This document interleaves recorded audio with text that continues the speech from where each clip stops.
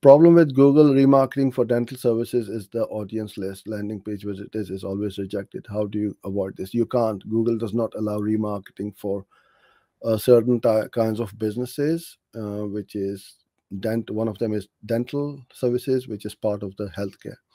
So what you can do is target differently um, in market audiences you can do. And with dentist you want to go broad because everybody will need a dentist sooner or later.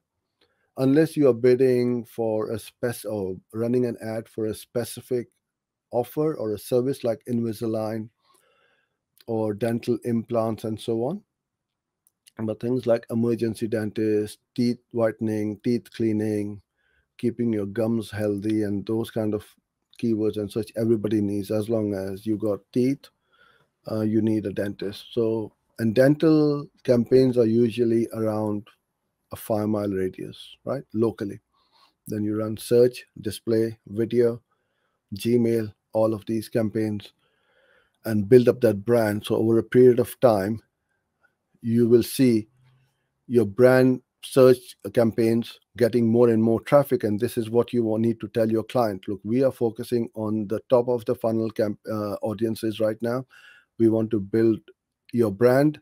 And by doing so by creating uh, display and videos the brand awareness is going to increase for sure